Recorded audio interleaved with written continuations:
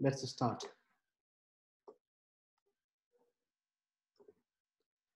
Uh, Dr. Amit Gupta um, and dear participants, uh, good morning, good afternoon, and good evening.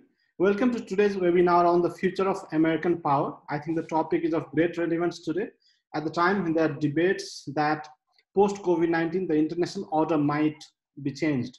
Even Kissinger came with a similar article. Uh, there's also one section, uh, maybe it's a small section that also argue that maybe China will take over. Uh, they fail to understand that America, uh, the way America has reached around the world. Um, to talk on this, uh, we have very distinguished person, um, Dr. Amit Gupta. I would like to thank him for his time, and I also like to welcome him for this discussion. I got an opportunity to listen to him at Delhi at several occasions, and I think the last one was in Institute of Peace and Conflict Studies, New Delhi. Dr. Amit Gupta uh, is an associate professor in the USAF Air War College, Alabama. He, his writing has have focused on arms production and weapons proliferation, South Asia and Australia security policies, diaspora politics, popular culture and politics, and more recently on US-China rivalry and the impact of demography on US foreign policy. His articles have appeared in Orbis, Asian Survey, Security Dialogue, The Roundtable, and Mediterranean Quarterly. He is also the author or editor of seven books, and most recently, recent of which are Air Power, The Next Generation, published by Howgate Publishing, uh, Maritime Heritage and Challenges in the Indian Ocean and the Western Pacific, co-edited with Howard Hensel and published by Routledge. Uh, so you have 30, maximum 40 minutes to make your presentation, followed by question and answer. I'd also like to request all our participants to drop their questions in the chat box or comment box or on Facebook Live. Uh, you can also tweet your questions on contact NIICE. Dr. Gupta, the floor is yours. Thank you. Thank you, Pramod. And thank you for organizing this. I do want to say that it's remarkable how COVID-19 has reshaped the way we do business and it's, it's an opportunity. You know, the last time I was in Kathmandu was in 2011. And I didn't think I would come back for five years more, probably around 2025. But I've come back five years before. You know? And that makes me feel very good. Now, what I want to talk about today is simply this that what you've seen for the last 30 years or so, since 1991, is a unipolar world order. It is a world order in which the United States had military primacy, and thanks to globalization, it had economic primacy. Both military primacy and economic primacy are now being contested. And Today's discussion is on what is the contestation, what is the American response, what are the constraints, and what is the likely outcome. And here's what you have to keep in mind. Why is this, why is this constantation, oh, sorry, why is this contestation a problem for the United States? And the answer is it's not so much about unipolarity. Unipolarity is important if you look at every American president, they have made the same point that America will lead world order with purpose. And they've been saying this since 1991, 92, when the Soviet Union collapsed. What is important is since 91, the Bretton Woods United Nations system that was set up in 1945 has essentially been the template on which world order has been based. And with the rise of China, with the revival of Russia, there is a concern that this Bretton Woods UN liberal international order will be challenged. And let me get to what is going on. If you look at it from 1991, the United States has had military supremacy. And that military supremacy has rested on the fact that technologically it's been far ahead of other countries. it has also divided the world up into combatant commands. And for each command, forces are committed. For each command, there is a strategy. And I'll show you Indo-Pacific Command in a minute. Now, what has happened is for the last 10 years or so, or actually more than that, for the last 20 years or so, it's been very clear in Washington that what you're seeing is a rise of China. And as China rises, the question in Washington became how do you deal with it? And the first person who talked about this was George Walker Bush, who said, China is our strategic competitor. This was said in April of 2000. And then, of course, in, oh, sorry, in April of 2001. And then, of course, you had September 2001, and America's security perimeters changed quite dramatically. Barack Obama did the same thing. He said, we have to pivot to Asia. Well, he pivoted to Asia only to pivot back to the Middle East because things blew up with the Arab Spring and everything else there. Now, Donald Trump has made China the number one focus of his administration. It is seen as a foreign policy challenge, it's seen as an economic challenge, it's seen as a military challenge. And unlike the Obama administration and the Bush administration, what Trump has done is Trump is moving away from this large military footprint that the United States had, particularly in the Middle East, and I would argue even in Europe, to focus on the Indo Pacific. Okay? This is what is the shift that's taking place. And let me show you this is what is called Indo PACOM now. It used to be called Asia Pacific Command. That went away it became Indo-Pacific Command, and it was called Indo-Pacific Command to accept two things. One was that China was a central strategic focus of the United States, and the second was the rise of India. Okay? And what the American national security strategy says is very clear. It says what has happened is China has built up its military capacity to the extent that it might be able to conduct certain military actions. And therefore, the United States should be able to change its own military force structure to deal with this change in Chinese capabilities. And as the uh, national security strategy says, what you're worried about is that Beijing thinks that it can use its a limited use of its theater nuclear capabilities or any other use of nuclear weapons, and that the United States would acquiesce to this. So, what has happened is the US has actually started to change its military forces, not to fight a war, but to deter a war. Remember one thing that what is coming out of both Beijing and Washington is not talk about, oh, we're headed down the path to another world war. What they're both saying is that there is a concern that we may have another Cold War, which is something very different. But what is the US doing to essentially bring about greater deterrence in the Indo Pacific?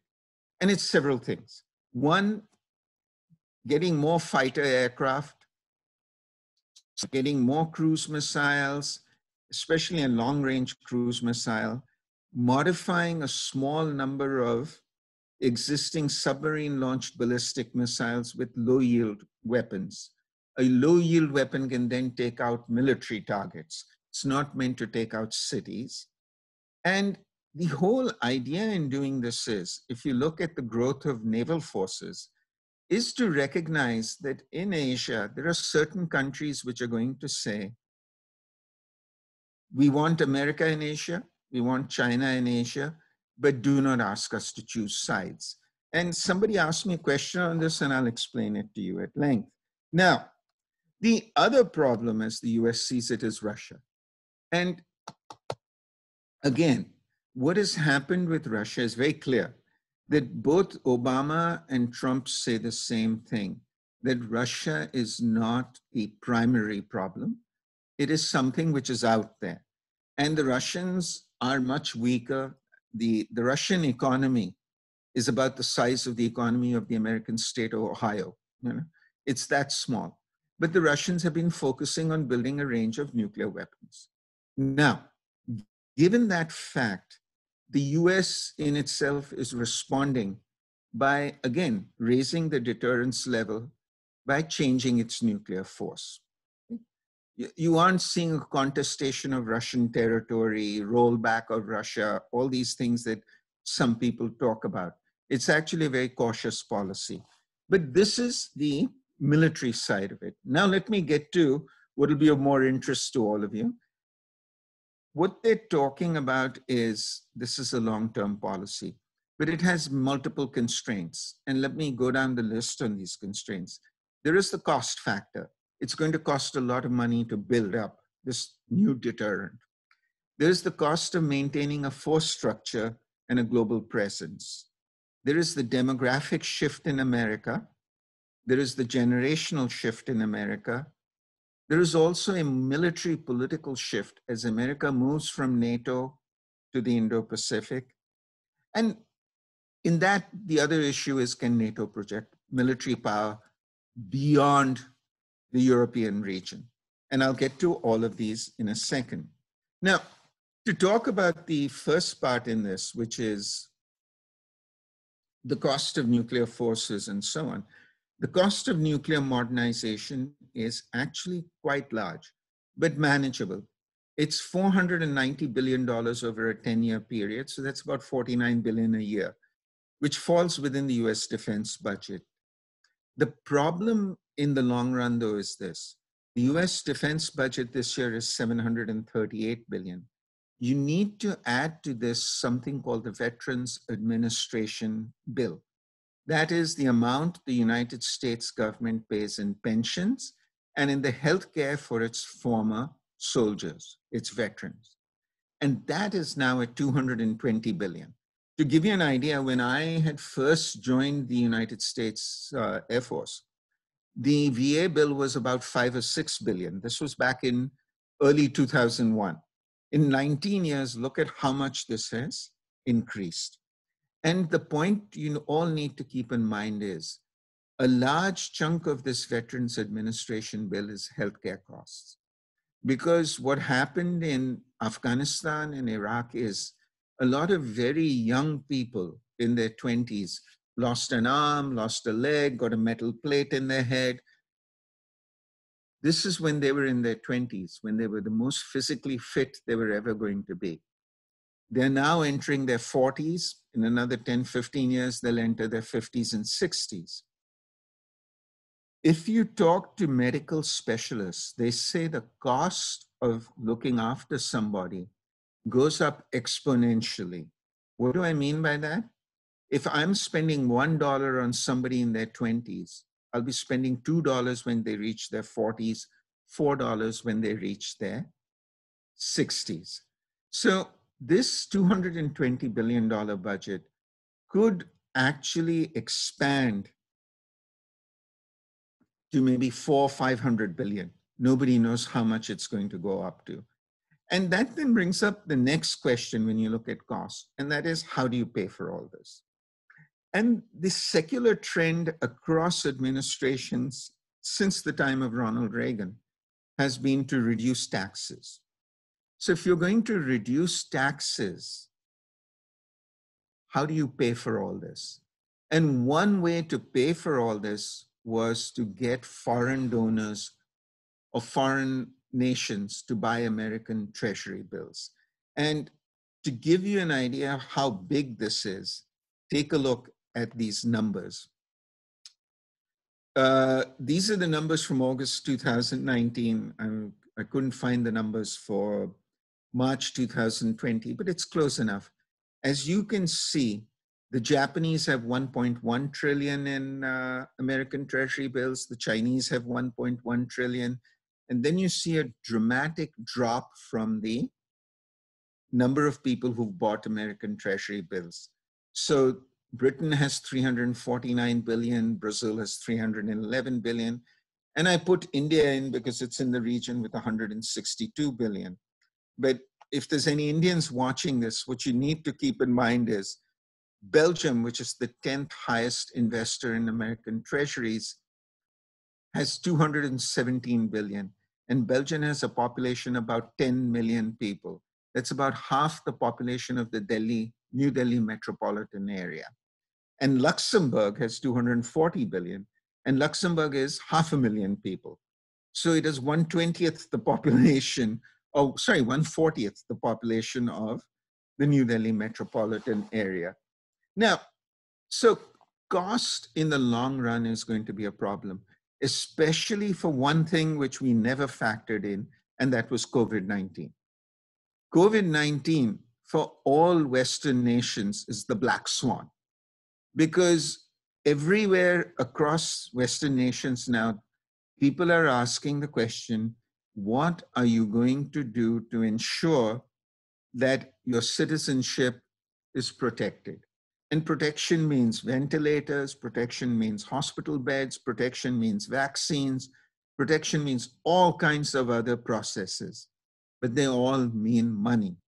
And, you know, to give you a very clear example of this, the British talk a lot about how they're still a world power. After Boris Johnson went to the ICU in Britain, they've begun to realize that they're going to have to spend a lot more money on their national healthcare system. And the question in the Western world is if you're spending more on healthcare, how much can you afford to spend on defense? And the answer is not much. The other constraint that's coming in the United States, which is something I've been working on now for about five years, is that of demography and a generational shift. And let me explain this. The United States is unique because in the next 25 years, the minorities in America become the majority. Who are the minorities? Hispanics. So that's Mexicans and other Latin Americans, Asians, African Americans. By 2045, America's population will be 50.4% minority and 49.6% majority. So the majority becomes the minority. And by 2024, which is four years from now, 50% of the school children in America will be minorities. Now, I'm not making up these figures. These figures come from the Census Bureau of the United States of America. And the Census Bureau of the United States of America bases these calculations on who is already born and lives in the United States. Okay? So it's not projections on, well, maybe people will have more children, maybe people will live longer, nothing like that. It's going with existing death rates and existing numbers of population in the US. And I'll say one more thing, which is not apparent to all of you. The median age for white people in America is 50. The median age for Latinos, that is Mexicans and other Latin Americans, is 19 and median age is 50% above, 50% below. So ask yourself, what is the future that is coming? And, you know, one of the interesting things is if you look at the old America, the old America was Eurocentric because people would go to Europe during college. People saw Europe as their cultural home and so on. But as you see this new minority majority America come about, what are their cultural ties to Europe? Their cultural ties are to Latin America, their cultural ties are to Asia. And in part, this is why President Macron of France says America is moving away from being an Atlantic nation to being a Pacific nation. Now, this is one.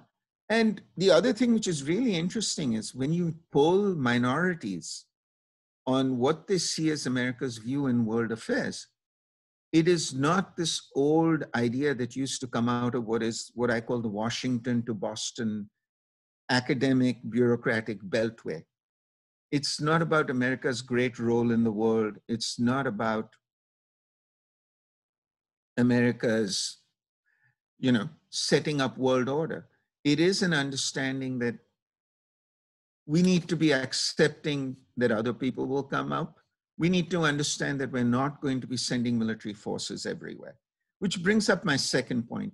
And the second point is really interesting. Remember this American foreign policy to this day is made by people who fall in two categories. Category number one is what is called the greatest generation, the people who were born either before World War II or during and just after World War II. And Pramod was talking about Henry Kissinger. Henry Kissinger is now in his 90s. You know, Henry Kissinger is an extremely old man.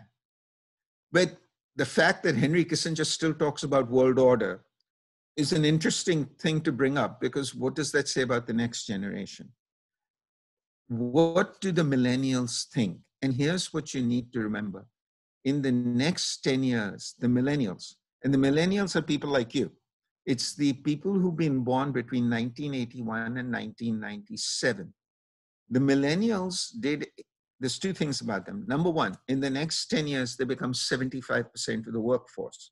Because remember, baby boomers, which is the generation I fall in, were born between 1965 and, uh, sorry, 1945 and 1964.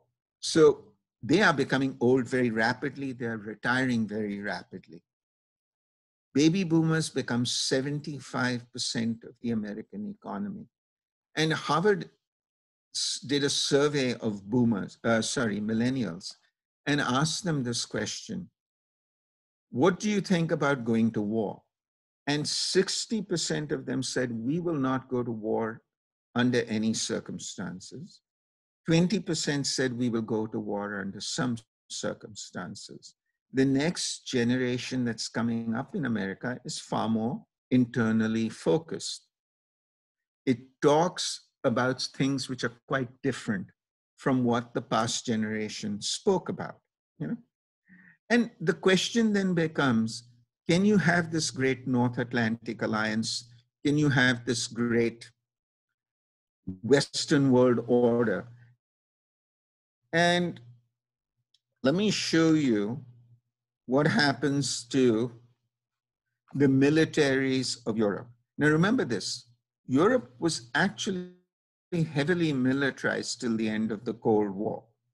Um, I used to live in Sweden, and I put the numbers of Sweden up there, but the Swedes in 1988 for a population of 10 million people could put 800,000 people into their military, both active and reserve.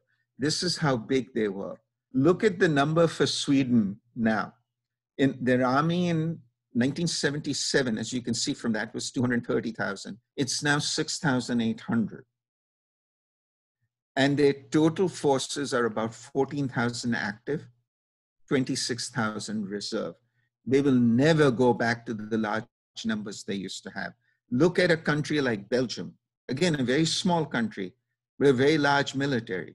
It has shrunk. Look at Britain, look at France, you can go down the list on that, okay? Uh, and here's the interesting one. I interviewed a German, uh, actually I didn't interview, I gave a lecture where there were a bunch of NATO generals there. And I know that the Germans during the Cold War had 2,000 tanks. Now they have about 311 tanks. So I asked the German general, I said, Sir, in a war, how many tanks could you put out to go to war? And, you know, the good thing about the Germans is they will tell you the truth. They'll be very accurate even if it is painful to them. And he said 96. So, where are these large numbers of European forces going to come from to fight in Europe, let alone fight around the world? And where will they be able to take casualties? Because remember one thing, I'll give you the example of Australia. In World War I and World War II, the Australians took about 58, 59,000 military casualties. In the Iraq war, the Australians took two. In the Afghan war, the Australians took 40. And again, I've asked the Australians this question How many can you take? And they said, not what we did in World War II or even in Korea and Vietnam, where they lost like 300, 500 troops. The West's ability to fight all this is going away because the West is getting old. To give you an idea, the median age in Italy in the next 10 years is going to be 50. The median age in Germany is going to be 46 or 47. None of these people are going to have young populations. And ultimately, to go to war, you need young populations, which then brings up the challenge posed by China. And let me explain this China as a nation is quite different in terms of what it is thinking than the old Soviet Union. The Soviet Union sought to challenge the United States globally. So the Soviet Union wanted a military presence in Latin America, which was stopped with the Cuban Missile Crisis. It had a military presence in the Pacific, so on. What the Chinese want to do is fight a high technology war in local conditions. What they mean by that is they want to be able to fight the United States in the South China Sea and the East China Sea. They're not interested in going into the North Atlantic they're not interested in going into the South Atlantic. Yes, they are sending more naval vessels into the Indian Ocean, but even there, they recognize that to challenge the United States outside their area of comfort would be extremely expensive and extremely difficult. And the Chinese have, till recently, argued that when the Americans provide security around the world, it benefits the Chinese. What the Chinese are doing, though, is they want to reconstruct world order. And the way they are doing this is not going with militarization, which is global strike, but with globalization. And you're seeing something very interesting with globalization. In the West, with the economic collapse of 2008, with COVID 19, and so on, you're seeing this push towards deglobalization. But in China and in Asia, which have benefited hugely from globalization, you're seeing a push for more globalization. And here's the thing you have to keep in mind Asia is 40% of global GDP, but it is 70% of the global growth now. Europe is not growing, Latin America is not growing. Go to Indonesia, go to Korea, go to Thailand, you know, and you see the huge levels of construction that are taking place. This is the future. And I'll add one more thing in this, which you need to keep in mind about the Chinese. And then I'll come to America and China in a second. Look, the Chinese are the world leaders in 5G. And 5G is going to reshape how the world works. 5G is in two parts. One part is layered 5G, which is you put 5G technology on top of 4G, and your cell phones become a lot quicker. So for the young people who are listening to this, if it takes you two minutes to download a movie on your cell phone, it's going to download in seven seconds once you get 5G. Because 5G is about 40% quicker than 4G. But that's not the interesting part in 5G. The interesting part in 5G is what's called the Internet of Things and that is the artificial intelligence aspect of it. Driverless cars, robots that can talk to robots, facial recognition, surveillance, these kinds of things. And the Chinese have a five year lead in this. And I will give you one word for that it's Huawei. And you've all read this stuff that the Chinese will become old before they become rich. If they have robots running their factories, they don't have a labor shortage. You see what I'm saying here? Keep that in mind. And in essence, the Chinese are still pushing very hard for globalization, COVID 19 or no COVID 19. And somebody, you can ask me about this because I'll talk to you a bit more and I'll show you some other slides on this. The other interesting thing to again come back to the United States is there is a third demographic shift happening in America, and that is people are moving out of states into eight American states. And some of these you can figure out California, Texas, um, Georgia, you know, New York, so on, Florida. The, again, the University of Virginia did a study on this and said by 2040, 50% of America's population will be in eight states. And remember, there are 50 states. And another seven states will have 25% of the population. So 15 of the 50 states will have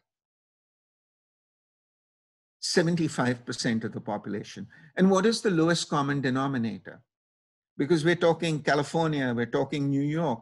These are the heavily globalized states. You know, if you look at New York's economy, if you look at the population of New York, it's heavily globalized. New York is Wall Street. New York, San Francisco, LA, their mayors will tell you that 150 languages are spoken in their city. And they're not exaggerating. So again, the question to ask is, what do you do about the other states of America? And it's really interesting.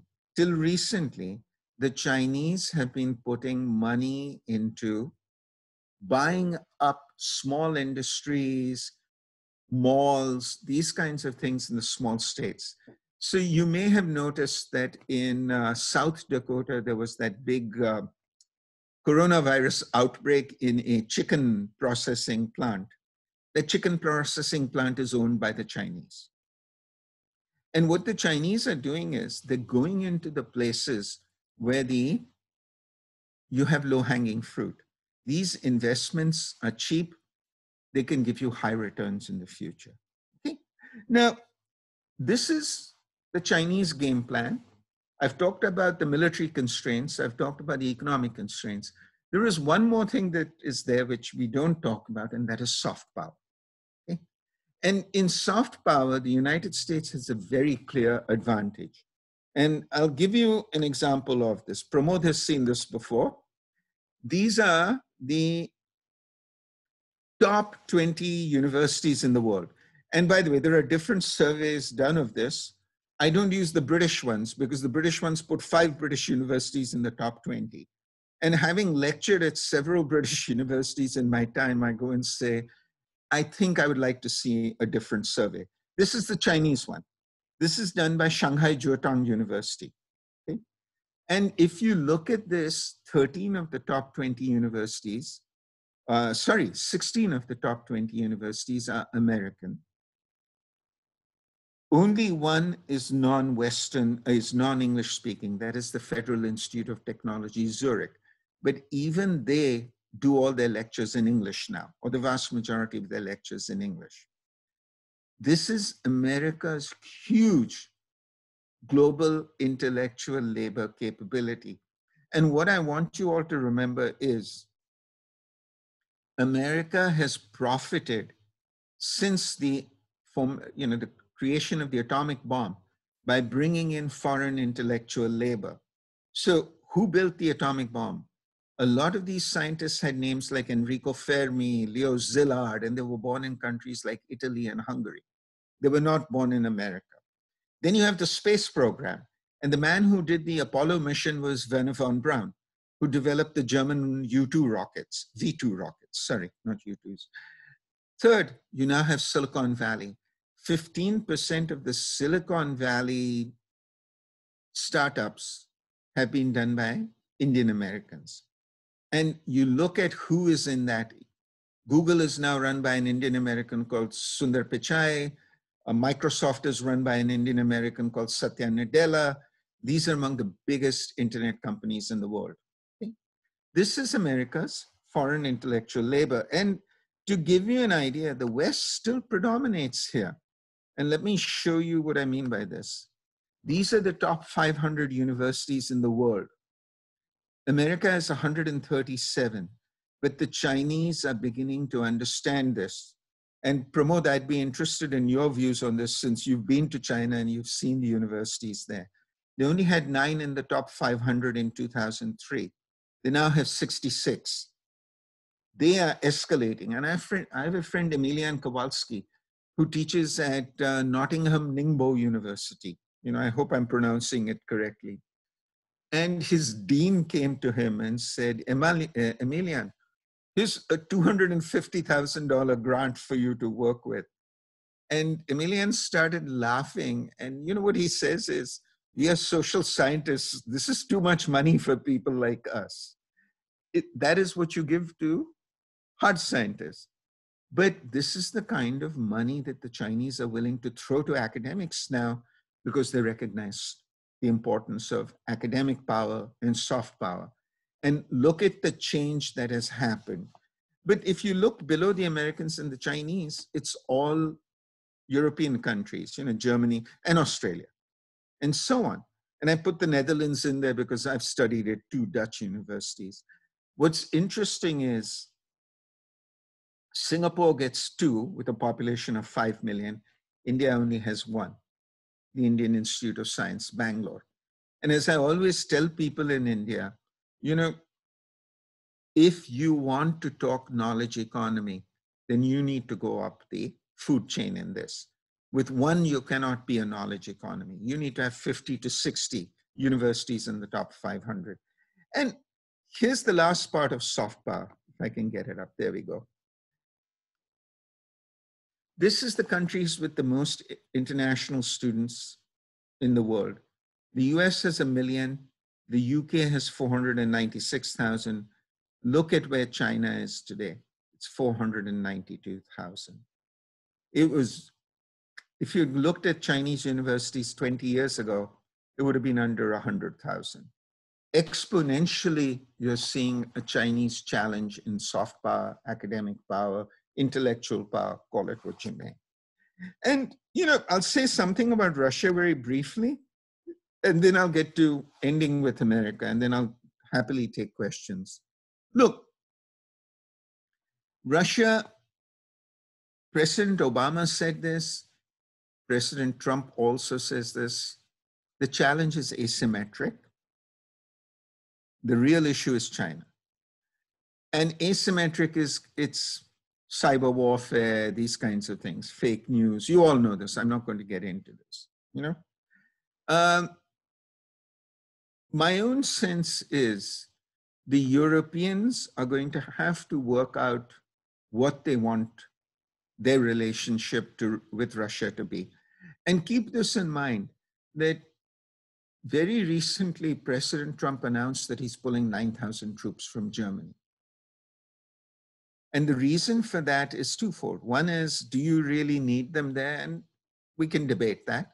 But the second thing is, he has been talking repeatedly about getting NATO to pay more for its defense. You know, I'll give you an example. Every NATO country is supposed to pay 2% of its GDP. Only four of them do. Uh, Britain, Greece, Poland, and I think it's Estonia. Okay. But Germany doesn't, Italy doesn't, Spain doesn't, France doesn't. And just to give you an idea, Spain pays 0.92% of GDP for its NATO uh, commitments. For it to go to 2% of GDP on its defense budget, it would almost have to double its defense budget. Which country in the world is ever going to double its defense budget? You know, nobody in the world can do that. So we, we're talking about a NATO and a Russia, which really are going to have to sit down and decide how they want to play this game. We're talking about a Russia which is not an economic power. Let me say something very clearly about the Russians. In 1990, 30 years ago, what were the Soviet Union's major exports? It was commodities like iron ore, copper, oil. It was weapons. It was vodka. What is Russia's major exports now. It is commodities, oil, so on, iron ore, copper. It is weapons. It is vodka, caviar, and they've added one thing. They've become cyber criminals. They become very good at doing cyber crime around the world. But cyber crime is not something on which you build an economy. Hmm? Cyber crime is a nuisance. You can't have a multinational corporation which does cyber crime. So my point to you is Russia is not the great world power it was 40 years ago as a Soviet Union. It is now really between the United States and China, which brings me to the future of American power. And here's what I think I think you see in America, which is going to be less interventionist, you see a debate that's going to come about in the US, and it's already there, which is how much do we spend on defense? What should our commitments be? And luckily for the US, neither China nor Russia have the technological capability to become global competitors in the next 10 to 15 years. After that, who knows? American military technological superiority remains. And you know, if you read Chinese military readings, they are very clear on this. They say if there is a war in the South China Sea, we lose. But the question then becomes can the US stay in the South China Sea for 50 years or 100 years, as it stayed with NATO? And that's a different debate. Okay, let me end by what I think is coming. And what I think is coming is what used to be Bretton Woods and the United Nations is, and a Western world order is going to become world order. As the West becomes older, as it loses its capability to project military power, you are going to see a new group of nations emerge which reconstruct world order. And who are those new groups of nations? It's going to be countries like Brazil, South Korea, India, South Africa, Indonesia, Nigeria, and especially the Chinese. And you're seeing this in their concerns about things like what to do with the IMF, what to do with the UN, how to reshape the Bretton Woods system. And I'll give you two examples. You all know there's something called the G4, which is Japan, Germany, India, Brazil. And what they're pushing for is to bring these four countries into the UN as permanent members of the Security Council. Now, there is an article by Kori Schake, who's an influential American defense analyst, who says, oh, if you bring in the BRICS countries into the IMF, you reduce the importance and value of Europeans, and so on. This is zero sum game thinking. The G4 are not saying bring in the Germans and the Japanese and the Indians and the Brazilians and kick out the French and the British. They're saying there are five permanent members. Let's make it nine permanent members. Similarly, the BRICS in 2015 said, let us put more money into the IMF. Now, that was rejected. But now, in a post COVID 19 world, it'll be interesting to see what happens. And let me remind you of this when Dominique Strauss Kahn was kicked out of the IMF, there was talk about who should be the replacement. And the Chinese said, uh, how about it not be a European? Because traditionally, the person who heads the IMF is a European, the person who heads the World Bank is an American. The Chinese said, how about somebody else? And, you know, one of the things people say is, we want the Chinese to be stakeholders in the, in, in the world order. If you make a Chinese as the head of the IMF, the Chinese just became stakeholders. You see what I'm saying? And there is talk now of what if you make a Chinese the head of the IMF, and what if you make an American, sorry, an Indian the head of the World Bank? That then becomes a different kind of world order. And it is not a zero, a zero sum world order, it's a non zero sum world order. And I'll end by saying two things. Look, as the West starts to control military expenditure, it will be spending more on its people. It'll be spending more on healthcare, education, and all these things, which in the long run will maintain the West's competitive advantage. And I'll end by saying this can you really stop the shift from Western world order to world order? And my answer is good luck. I don't think it's going to happen. So, you know, when you read stuff like John Mearsheimer saying why we will miss the Cold War, it's an absurd argument. Or Gilford John Ikenberry, that's his real name, by the way. You know, that's why he goes by G. John Ikenberry. So Gilford is talking about, oh, there won't be a demise of the Western world order and liberal values and all this. This is the thinking of 30 years ago. we now have to think of the thinking of the future. And I'll end by saying this. I'm so glad you're getting Kishore Mahbubani to come and talk to you because Kishore is one of the people in the world who's talking about world order. And you should ask him what he thinks because I, I believe he's highly influential. There's two more people I would suggest, Pramod, you ask. One is uh, Dean Chungmin Lee of uh, Yonsei University in South Korea. He has been writing about how to deal with China. And the third is the Australian Hugh White, who teaches at Australian National University, who's been saying for 10 years now that the United States and China have to come up with a new arrangement for power sharing in Asia. All right, I have finished. Can we take a one minute break because I need to get some coffee?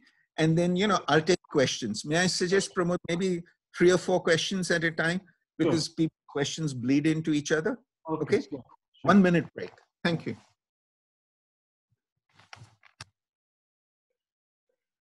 We would like to request all our participants to send their questions on the chat box. We have got a couple of them, but we are expecting more.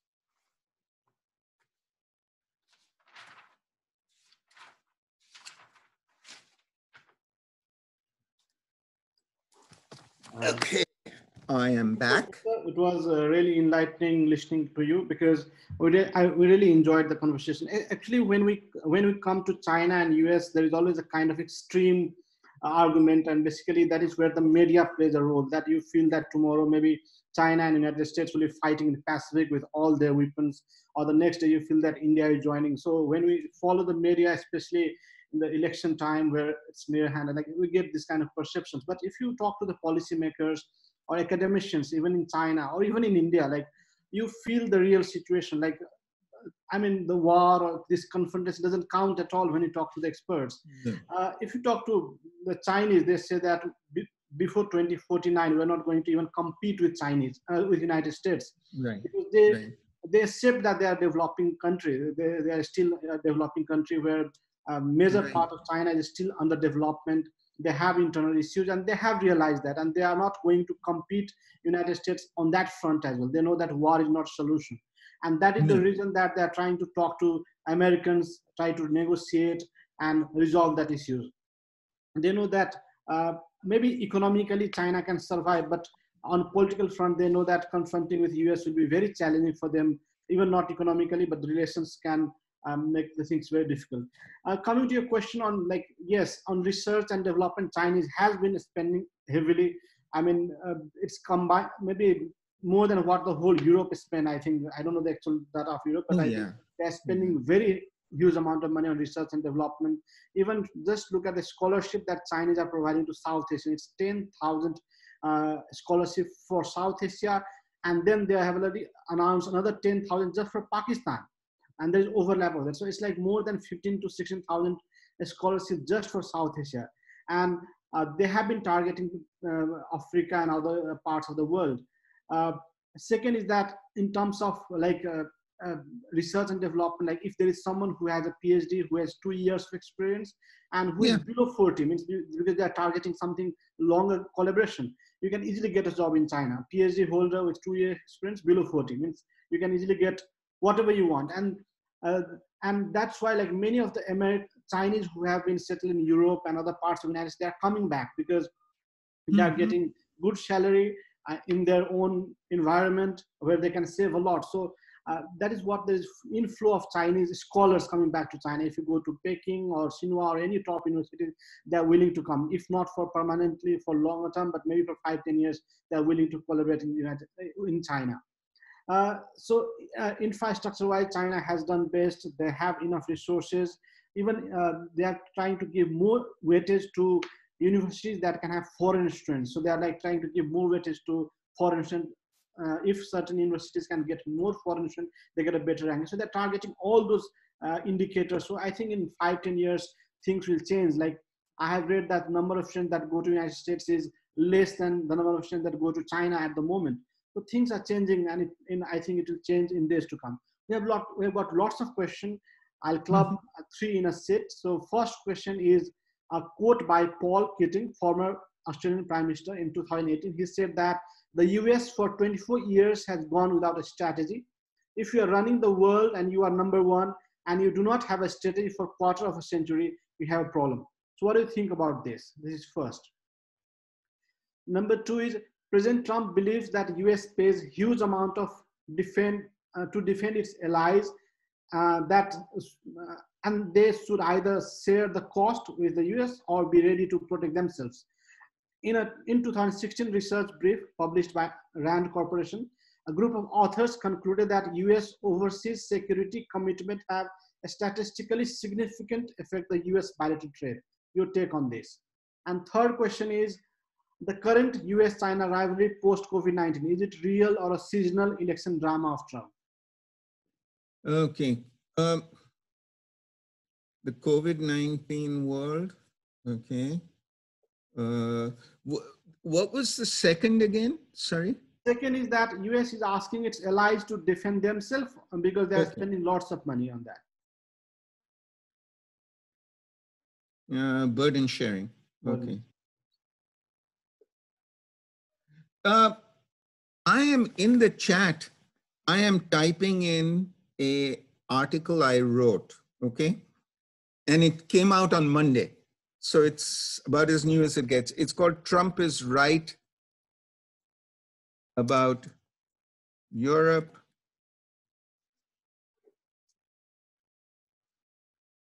If any of you Googles that, it, it's online. So the entire publication comes up that talks about the uh, burden sharing part. Let me start with the Paul Keating one. Here's the thing.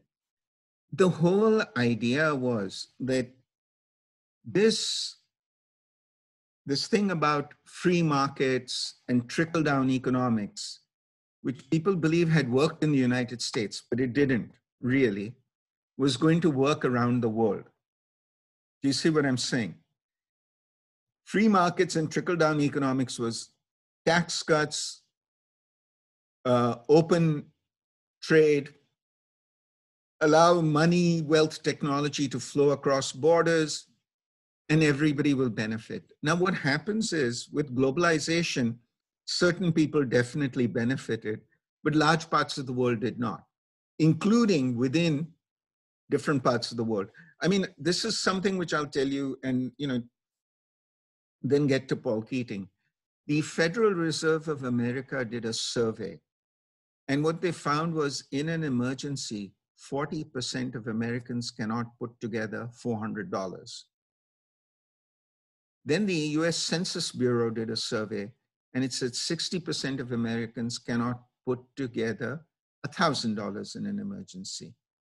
This is the big shift, and it has to be addressed. Now, when you come to, if you take this idea of trickle down economics and free markets applied across the world, Paul Keating's right. It wasn't a strategy. And the Chinese do have a strategy, and I've been arguing this for some time now. The Chinese have ambition, vision, resource. Well, let me rephrase that vision, ambition, resources. They want to put a trillion dollars into the Belt and Road Initiative. They say once that trillion dollar network is built, Around it, another $7 trillion worth of infrastructure will emerge. I think these numbers are highly overstated, but let's say they invest $250 billion. That's still better than anybody else. Second thing, they have the Regional Comprehensive Economic Program, which is ASEAN plus six other countries. Those are all serious countries which have come together in an economic pact. It's the Japanese, it's the Koreans, it's the Australians, it's the New Zealanders, it's the Singaporeans, you know? All these people understand this. And my argument for some time now has been, and thank you, you know, to the person who talked about Paul Keating here. Um, my argument has been you need a new American Marshall Plan. You need to be able to present a new economic vision to the world. And globalization is not enough. You know, and here's the thing the Chinese are willing to invest in Pakistan. Nobody else is willing to invest in Pakistan. When I was in Kathmandu in 2011, the Chinese were talking about putting a ring road around Kathmandu to ease traffic congestion. Have they built that? Or nothing happened? Pramod? They have expanded the previous one. They have not come with the new project. Okay. expanded the previous one. Okay. But, you know, my take is this. What the Chinese are coming up with now, and, and I'll give you an example because I want you to understand the difference between little thinking and big thinking. You all know Boris Johnson. Boris Johnson wants to build a high speed train from Manchester to London, which is 400 kilometers. The Chinese want to build a high speed train from Beijing to London, which is 12,000 kilometers. Somebody is thinking very big, somebody is thinking very small. And I, whenever I go and give a talk now, I keep saying the same thing. You have to create an alternative economic vision for the world. Right now, it's the Chinese who are creating that economic vision for the world. And if I may, I'm going to show you guys something.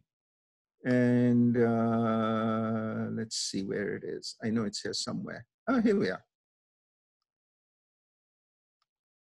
The um, sorry, yeah. I'm going to do a slide share. Sorry, where are we? I disappeared. Here I am. I'm going to do a slide share again to show you this. Um, where is the slide share button? I seem to have lost it. Pramod? Uh, it must be at the bottom of your screen, sir. Please look at it. There must be a green button. Oh, yeah, I found it. Thank you. Okay. Guys, I, I want to show you something because we don't really, Santosh Kumar wants to be admitted. Welcome, Santosh. Look, can you all see this?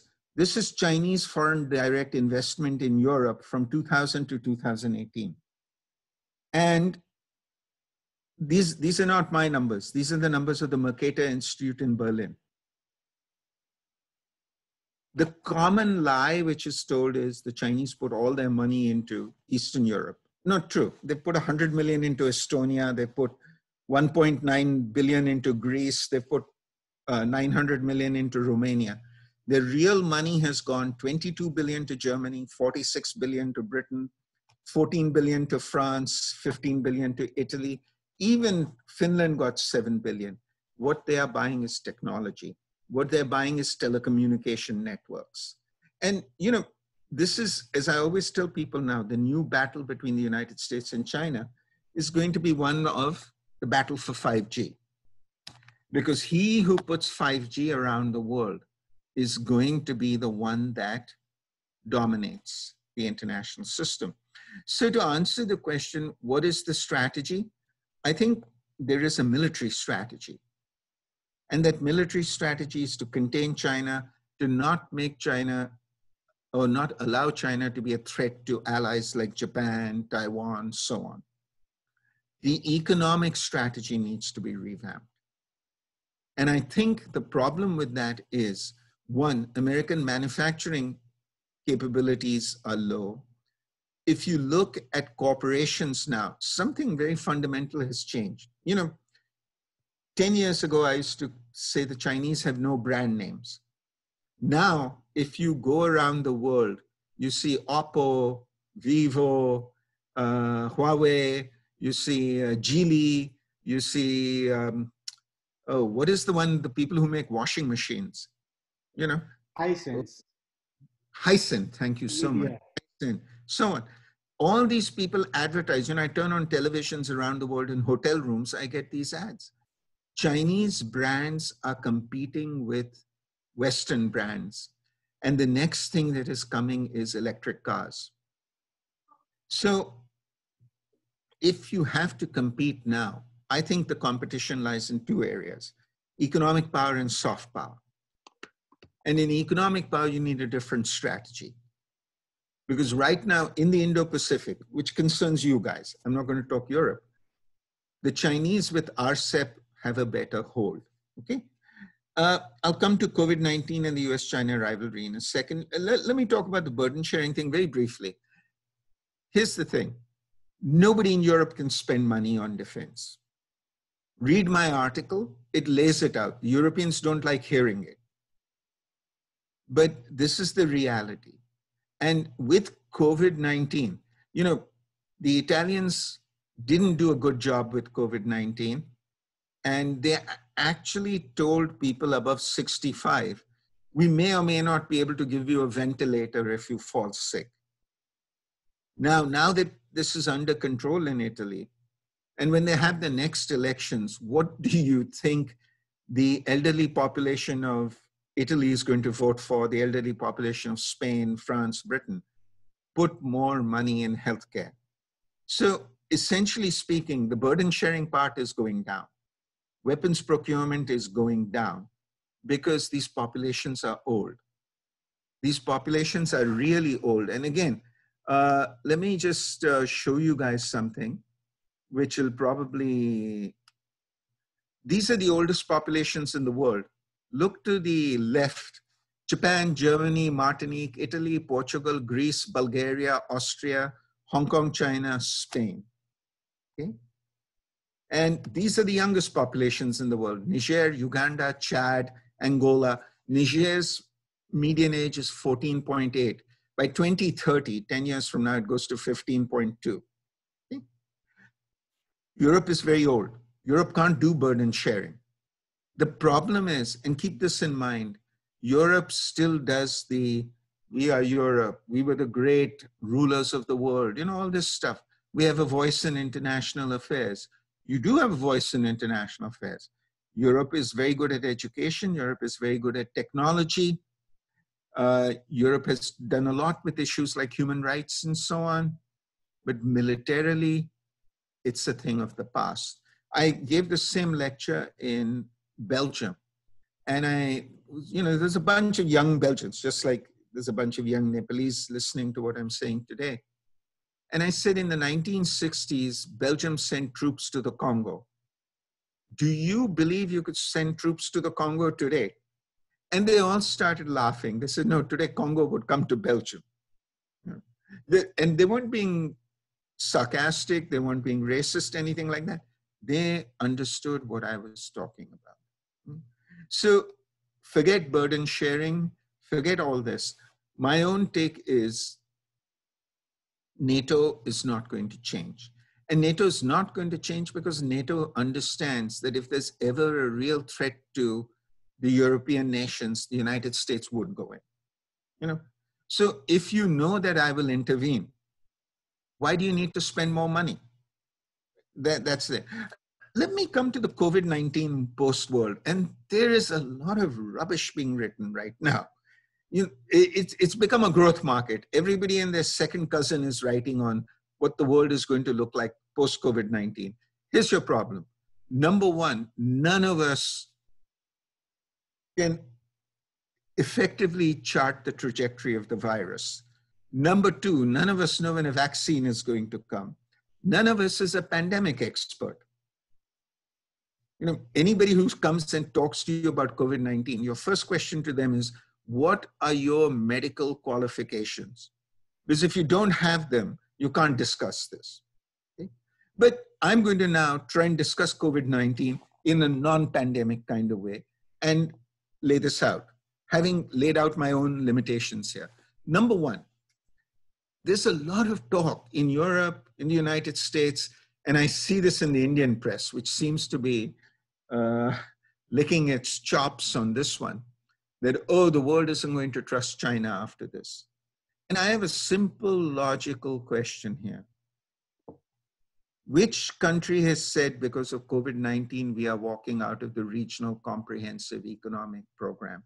The answer is zero. Which country has said we are going to hold the Chinese accountable? The Australians have talked about it. Do you know what the problem for Australia is? They sell $63 billion worth of commodities iron ore, copper to the Chinese. They sell $16 billion worth of natural gas to the Chinese. One fourth of their revenue on tourism comes from the Chinese. They get 1.4 million tourists. Those tourists, uh, who are 1.4 million Chinese tourists, that's 25% of their tourist revenue. And oh, by the way, the largest number of foreign students studying in China are, uh, in Australia, are Chinese. So when they look at those numbers, they can protest COVID 19, they can talk about, let's do this, let's do that. But when the rubber hits the road, what can you do? Now, bring this to the US and China. Here's the thing. What, what are we seeing with COVID 19 in terms of business trends? One, we're seeing a shift from physical to virtual, you know? And what I mean by that is five years ago, the only way I could have given this talk was to come to Kathmandu. Today, I'm doing it sitting in my living room in Montgomery, Alabama at 8.30 in the morning. We are going to see a much greater transition to virtual over physical. Second thing, and, and I'm quoting Mohamed El-Erian, the uh, international finance uh, expert. Second thing which we are seeing is we are going to see a movement from efficiency to resiliency in certain areas. And let me explain what I mean by that. In the area of pharmaceuticals and drugs, we found out now that you've had problems. So you, you all know this because you've been following this in the Indian press, that the United States came to India and said, give us more hydrochloroquine and so on. And the Indians have given it to the US, they've given it to Brazil, so on. A lot of countries are saying we can't depend on Chinese pharmaceutical companies for this in the future. So they're going to set up a lot of this. But keep this in mind. As you set up these industries, these industries will be highly automated, with low labor. Uh, 150 kilometers from where I live, Mercedes Benz is setting up a new car plant to build electric cars. It is a $1 billion factory, but it's only going to employ 300 people. 30 years ago, a car factory in America would employ 15,000 people. Hmm? So this idea that you're going to see this whole scale shift of production out of China, in some areas, yes. In a lot of areas, no. And especially in high tech. But the question of the US and China coming to loggerheads resides in how many countries are willing to move completely away from China. And I do not get that sense in the world. You saw the data on European, uh, uh, sorry, Chinese FDI in Europe. That's only going to increase. And the belief now is that the Italians may be the first country to accept Chinese 5G. You know, the Germans are sitting on the fence. The British have said, we'll allow 35% of 5G to be Chinese. Now they seem to go back on it. They may go back on it again. And uh, I'll just add this one the Chinese have told the British that that high-speed rail that you want to build from Manchester to thing, uh, London, you were saying you're going to build it by 2030. We can build it by 2025, and we'll build it cheaper. That's a very compelling argument for a country which is going to have to pump a lot of money into healthcare. So my own sense is while people are talking about a Cold War, while people are talking about a diminishing of Chinese power, I would say in some ways, yes. Certainly, in terms of a moving of some degree of supply chains. But it, you don't see a serious decline in Chinese capacity. And, you know, I, I, I'll say one more thing here, which is really important. We don't know which country is going to be the first one to bring out a vaccine. Because what you see in the press is what you see in the Indian press, the BBC, CNN, uh, you know, Deutsche Welle, all this kind of stuff. They only focus on what's happening in the West. So if you talk to the Indian press, they will tell you AstraZeneca, which is an American pharmaceutical company, is working with Oxford Institute and the Serum Institute, uh, uh, Oxford University, and the Serum Institute in Pune to make a, vi- uh, a vaccine. The Chinese have been looking at vaccines since January. And they only gave the DNA of the virus to the rest of the world in March. So they are two to three months ahead of everybody else. Now, if they come up with a vaccine and they say, we give it to the whole world, we're not going to be like a pharmaceutical multinational and charge exorbitant amounts of money for it. What does that do for China in the new China America post COVID 19 situation? And I, I, I, want all of you to remember this. Uh, most of you are too young to remember this. In the 1980s and the 1990s, the big pandemic was going to be AIDS. It was spreading across Africa. South Africa actually saw its population life expectancy decline because of AIDS. Central African Republic saw its life expectancy decline because of AIDS. The Western drug manufacturing companies were charging an arm and a leg for these drugs. Indian companies made AIDS cocktails and sold them for the fraction of the price in South Africa. When you come to solutions in a globalized world, it's not necessarily from the West to the rest of the world. It can be from anywhere. And again, let me remind you of this people are looking at South Korea and Vietnam to see how to contain corona because the Vietnamese have done a very good job with it. It's the Cubans who send medical brigades of doctors to Spain and other countries. The entire world is connecting up in ways which we wouldn't have seen possible 30 years ago. Okay, uh, I'll take some other questions if you have any. Okay, we have lots of questions. Um, uh, okay. I will send you three set of questions. Uh, it appears that United States often forget the principle of principle of balance of power theory. The hmm. policymakers of the US are blamed of failing, failing to recognize how balance of power logic not only drive the behavior of their allies, but also of their adversaries. Is it actually the truth? Uh, second is that uh, T. Paul and his colleague in his book Balance of Power, Theories and Practice in the 21st Century argues that multipolarity since the 18th century and bipolarity since 1945 did not last long and similarly United States hegemony won't last too long. Eventually it will end. So what do you, what do you think about this? Uh, third is that what is the future of gastronomy or people to government diplomacy? If it works on India, how will it work? how it will be or India will not, it's not very clear. Uh, how it will be or India will not play with the culinary that are more interested to border issues of Nepal that this something today, like they are, they're trying to connect with that. Uh, another question is US has emphasized on soft power.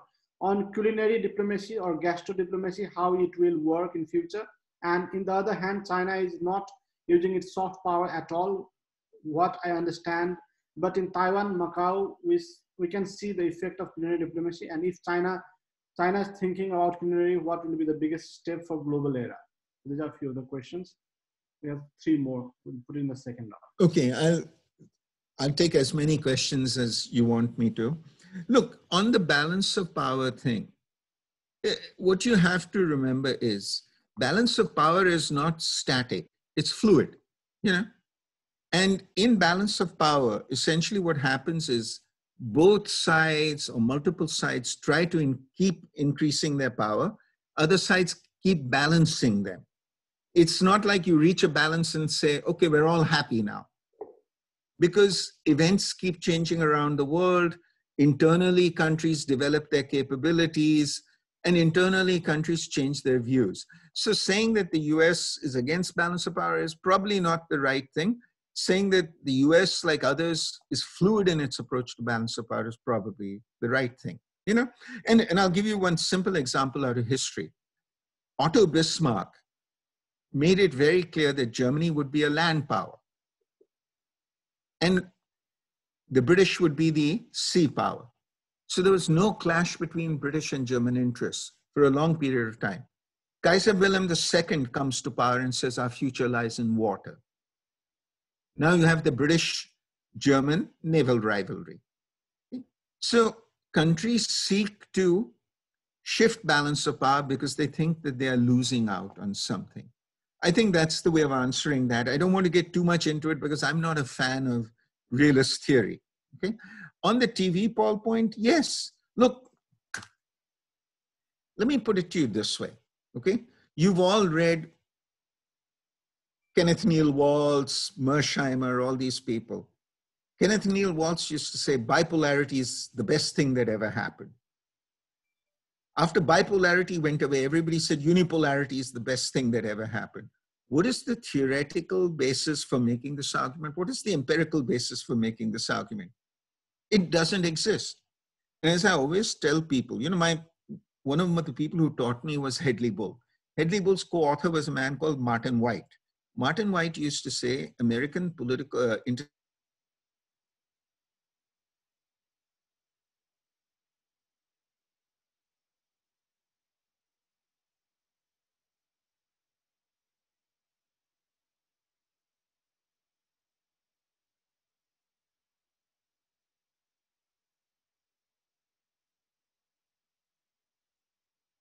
But if you look at the ridiculous politics of Britain between the Brexit vote and the re-election of, or the election of Boris Johnson in 2019, I mean, that is not a testimony to a two-party system being stable.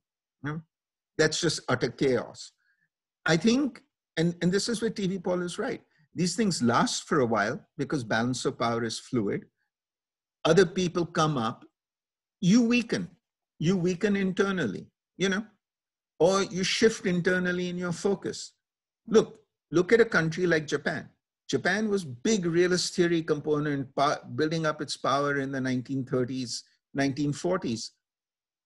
Today, Japan is a country which is not seeking to expand its military power. It shifted. Is Japan a very rich country, though? Well, the answer is yes. Is Japan a technologically advanced country? The answer is yes. No? People's priorities shift. Uh, this gastronomy question, I am not sure what it is, but let me tell you, let me put it to you this way, okay? As somebody who travels around the world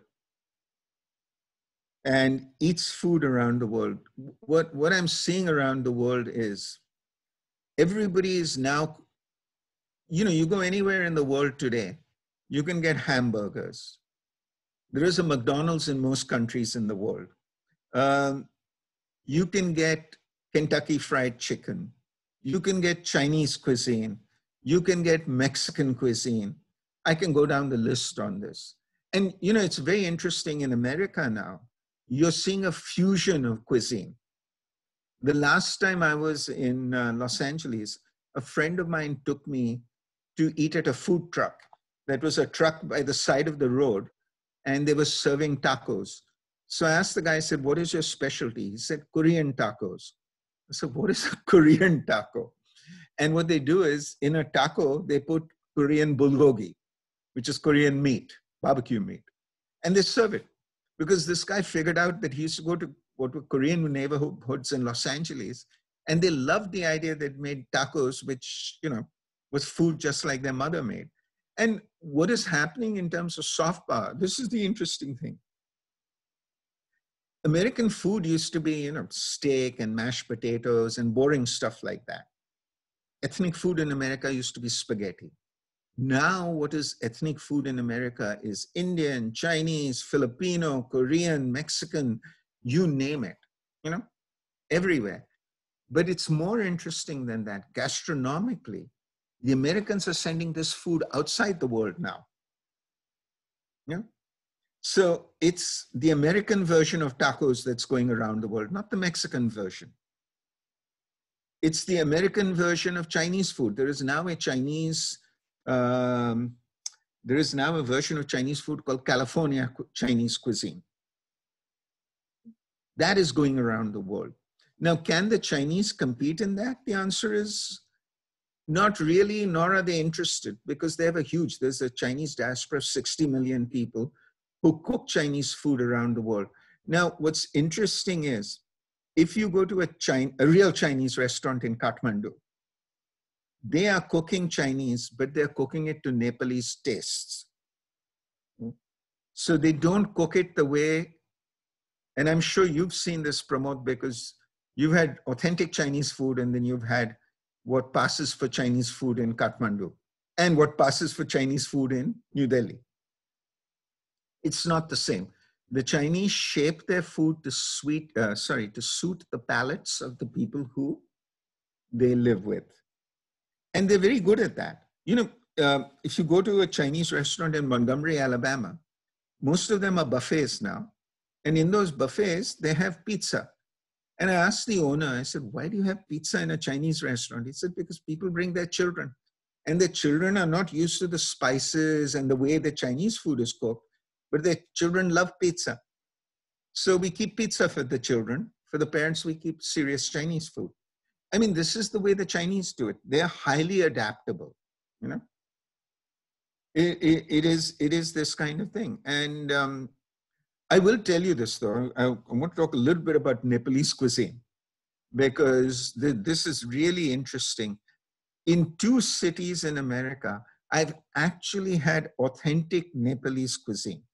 One is Madison, Wisconsin, and the other is St. Louis, Missouri, where they have Nepalese restaurants. And, and, and it's cooked Nepalese style. It isn't like South Indian style or Punjabi style where, you know, you put that much spice in the food and so on and it, it's done very differently. The the rotis are done Nepalese style; they're not done Punjabi style. So it was a real pleasure to hit eat a different kind of cuisine there. Uh, I should also add this about Nepalese. Um, you should be very proud of your country now because there are more Nepalese students in America than there are Pakistani students in America. And Nepal is what now, 30 million people, 29 million people? Pakistan is 208 million people. So the, Nepalese educational diaspora keeps getting bigger and bigger. And we're seeing more Nepalese food around the world. You know? And you are adapting too. I mean, you go to these Nepalese restaurants, you get momos. And I laugh when I see that because I tell them, but this isn't Nepalese food. They said, yeah, but you know, here people think anything coming from Asia looks the same. So they laugh, you know. But if, if you're looking at this in terms of soft power, I'll say one thing. The Chinese has now spending close to $7 billion promoting their soft power around the world. They've set up Confucius Institutes everywhere. I'm sure there is one in uh, Kathmandu. Yeah? Uh, they have, um, uh, they are also putting a lot of uh, money into Hollywood. You know, the Mission Impossible movies, uh, the Avengers movie, so on. If you look at Hollywood now, it makes 30% of its revenue in America. It makes 70% around the world. It makes a lot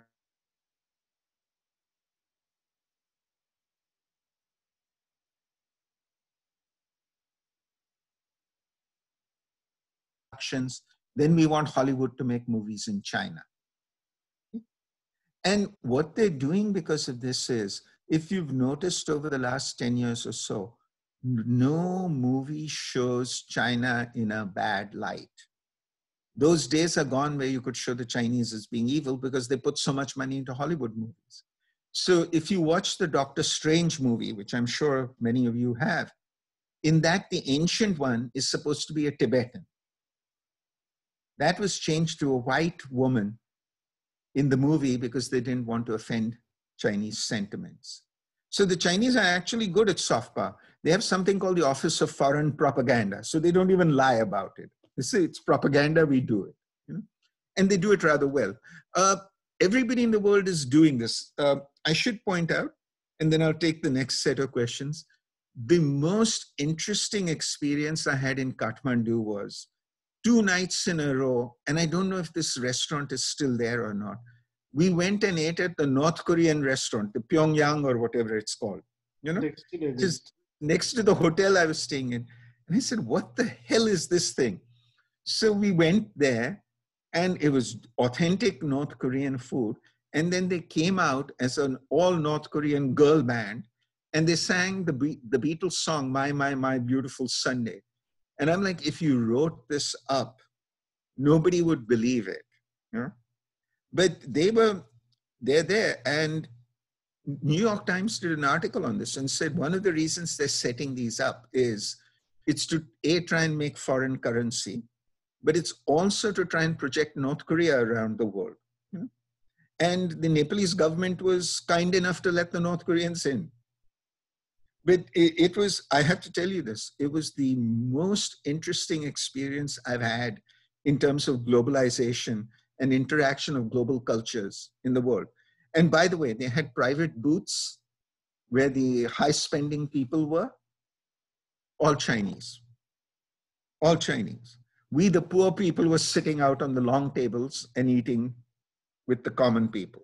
You know, inside it was the rich Chinese getting a catered custom uh, banquet and so on. Okay, uh, I'll take some more questions. Uh, thank you, sir. Uh, this is the last round. Okay. Uh, what is your forecast on U.S. strategic policy towards the Philippines in line with South China Sea dispute that has been dividing ASEAN in defense and security pillar?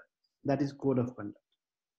Second is, after COVID-19, how will US be challenged by China?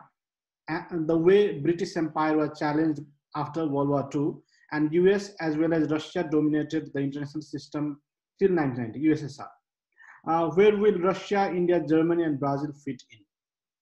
Third is, do you see a rise of India in the global order with the American inclination towards uh, looking for allies in its struggle against China. Fourth is how optimistic are you about the Russia-US nuclear talk on the table? What, according to you, will be the best possible scenario?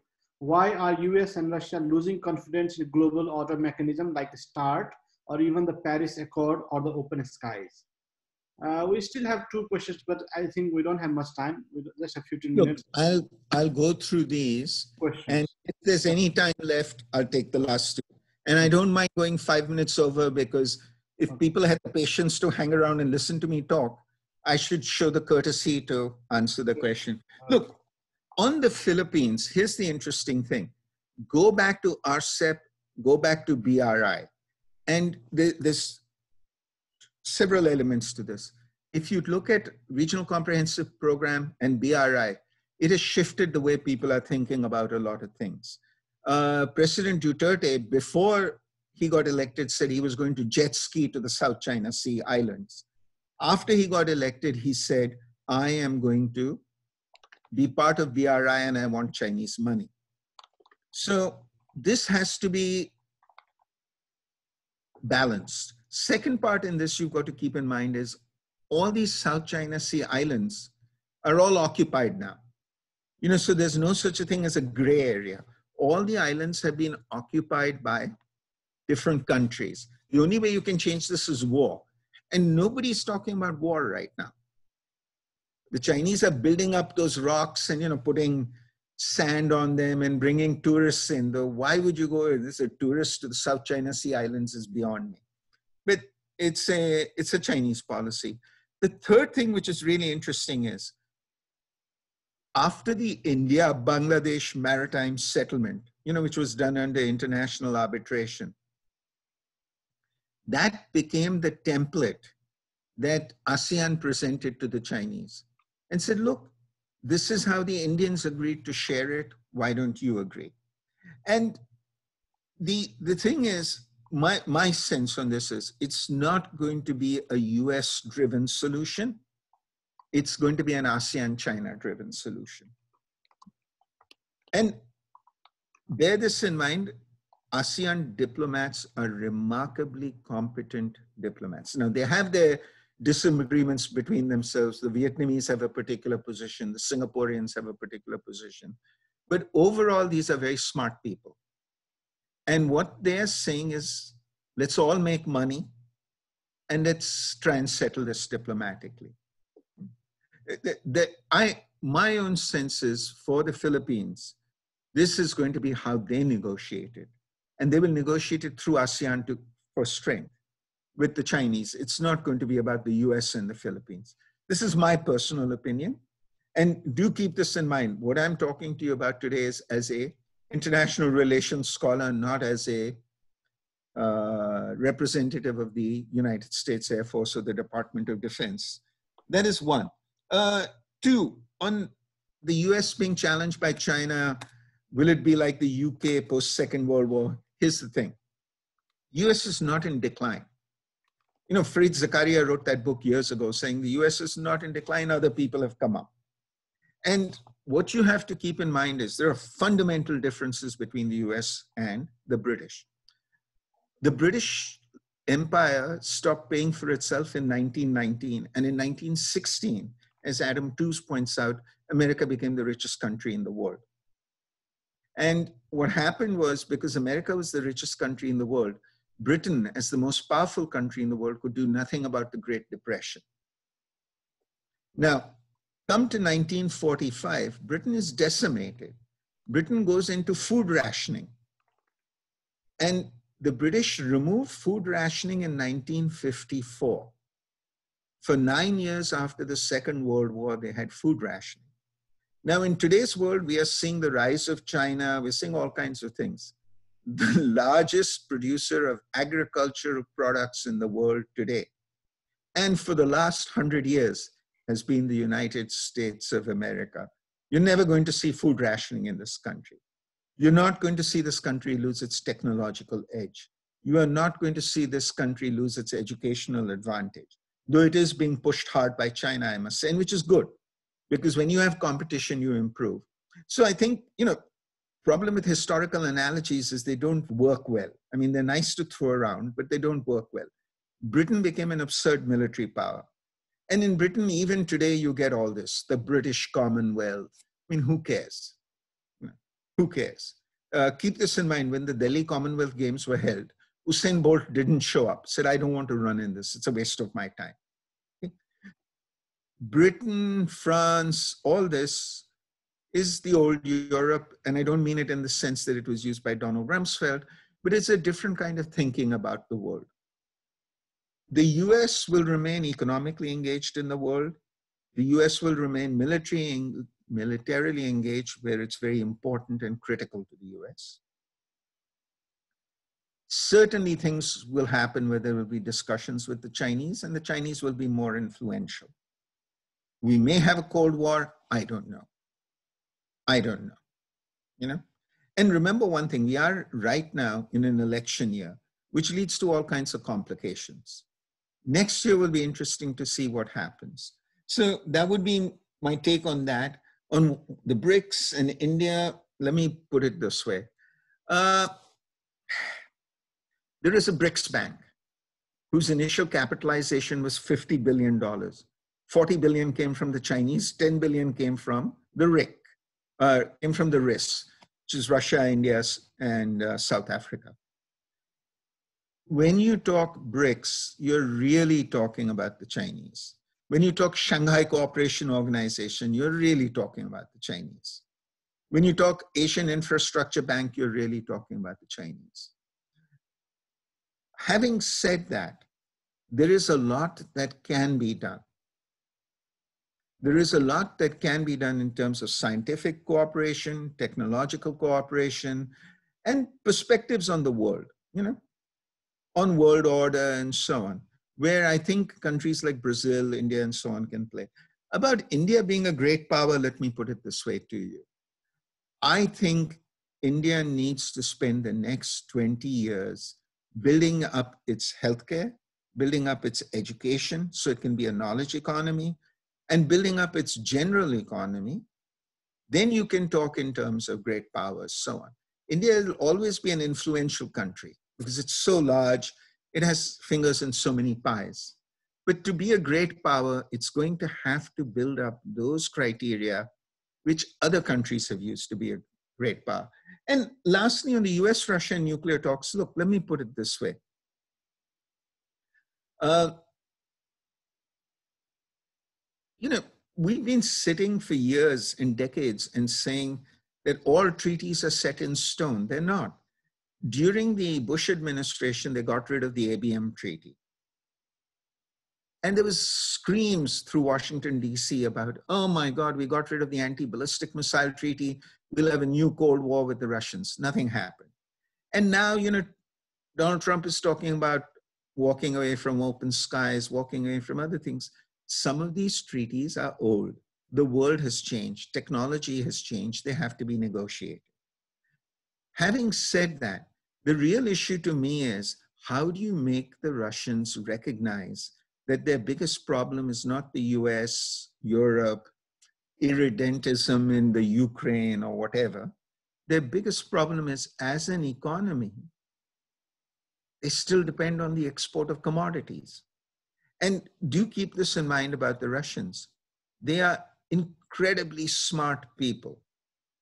You know, you look at the technological capabilities of Russians, you look at the scientific capabilities of Russians, you look at the research Russians do in the social sciences. It's amazing.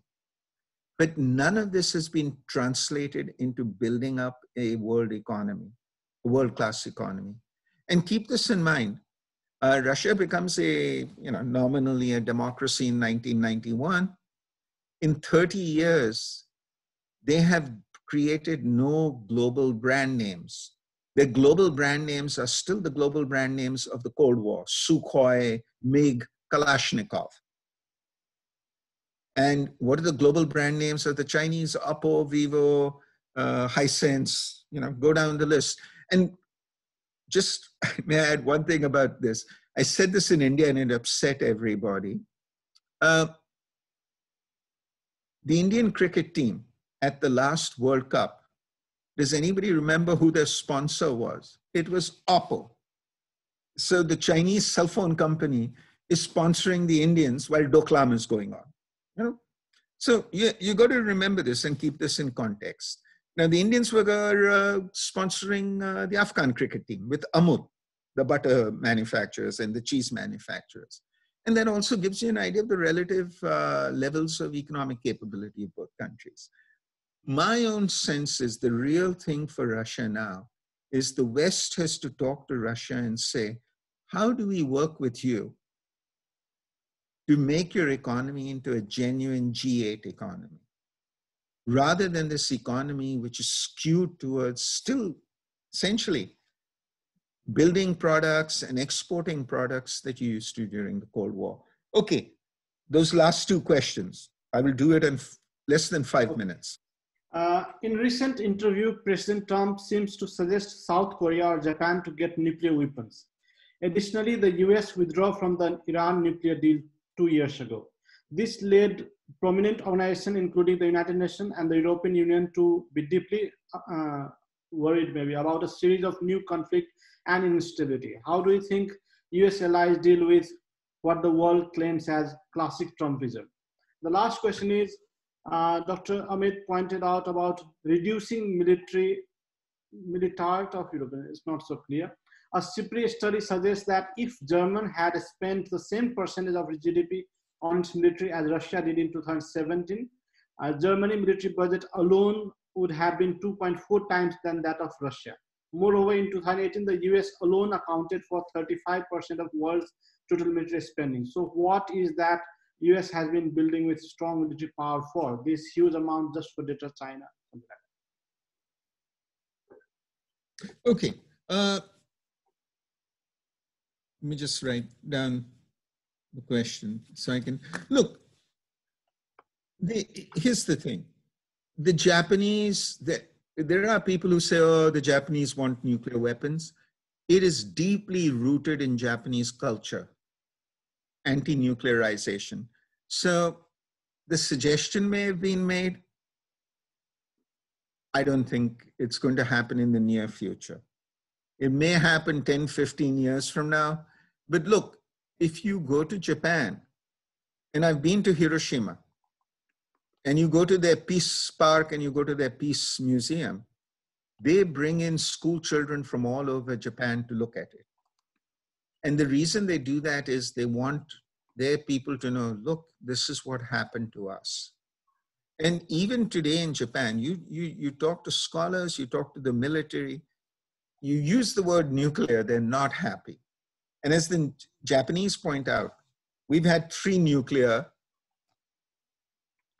incidents Hiroshima, Nagasaki, Fukuyama.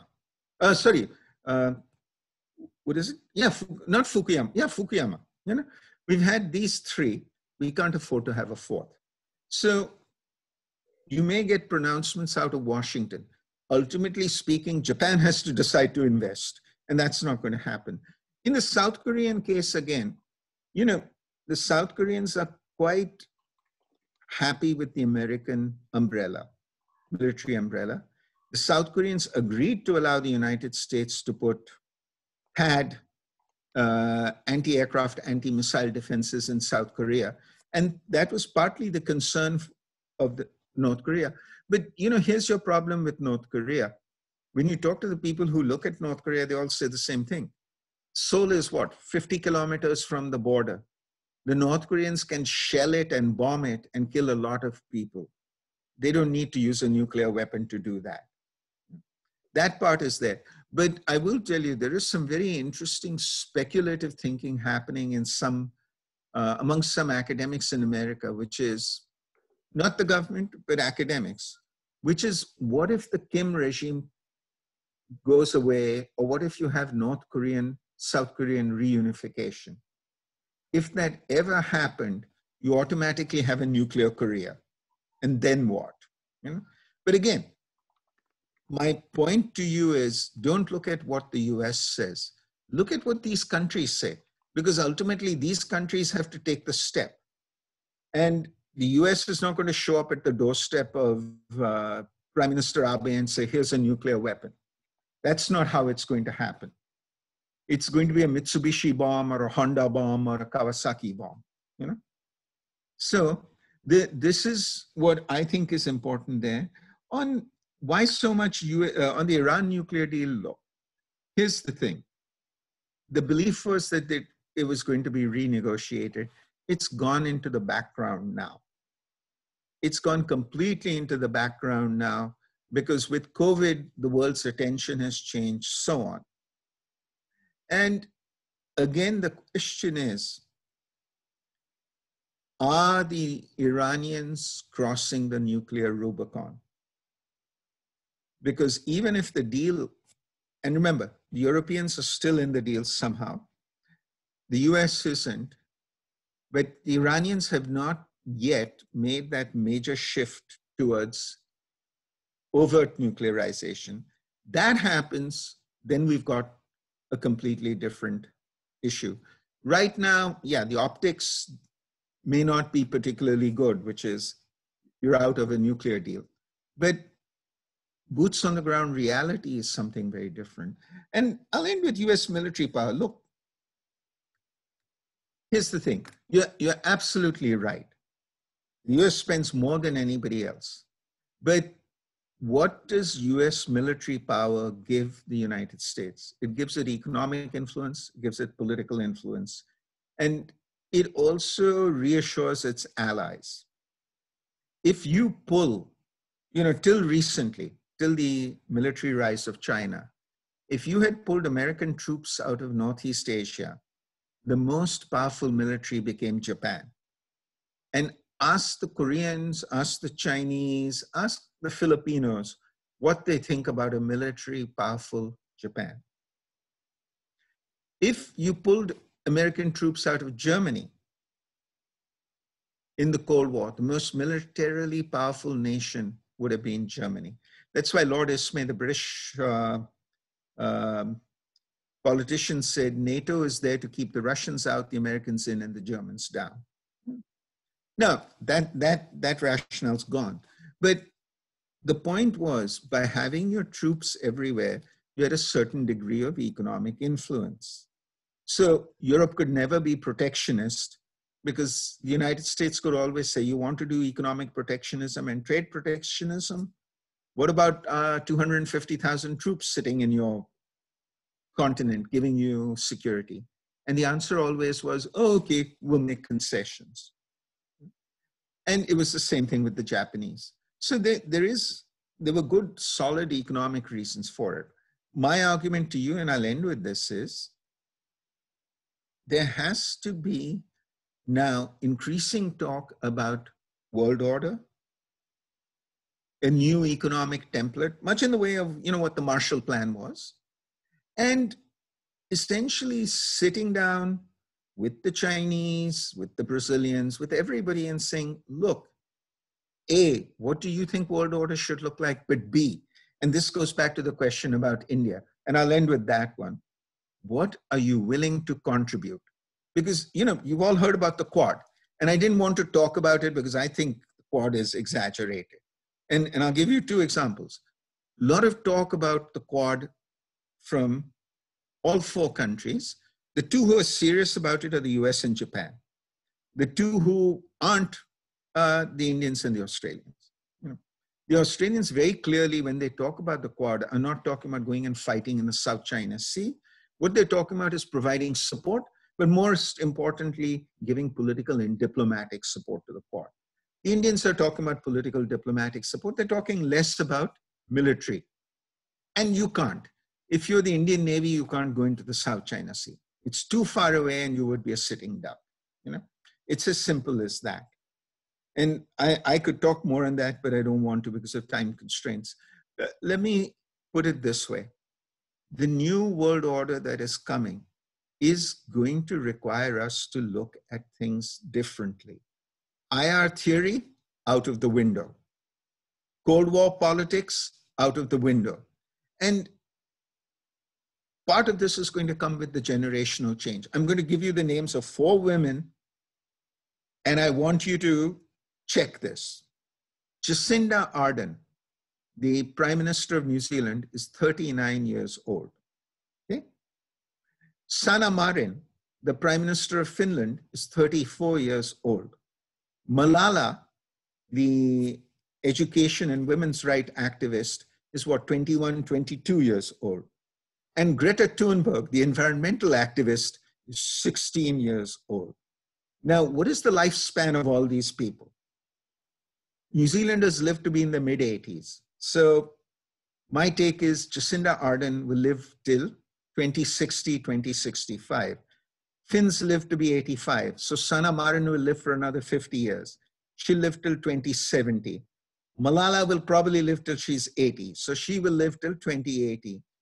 And Greta Thunberg, because Swedes live till their late 80s, will probably live for another 70 years. She will live till 2090. Will John Mearsheimer be alive in 2090? Will Henry Kissinger be alive in 2090? Will Donald Trump be alive in 2090? Will Boris Johnson be alive? Will Macron be alive? Will Merkel be alive? Everybody will be dead. And what I want all of you to look at, because I, I like to end my lectures on a note of hope.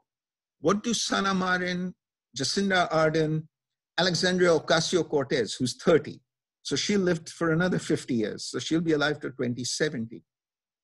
Alexandria Ocasio Cortez, Malala, and Greta Thunberg have in common. They say the environment matters, poverty matters, healthcare matters, education matters. That is the focus of the politicians of the future. So, you know, to my mind, yeah, Henry Kissinger should be sitting with his grandchildren and playing, or great grandchildren now. Same thing with all these people. I want all of you to look at what these young people are saying because they're people in your age group. And tell me, I never thought a 34 year old could become the prime minister of any country. But that is the reality today.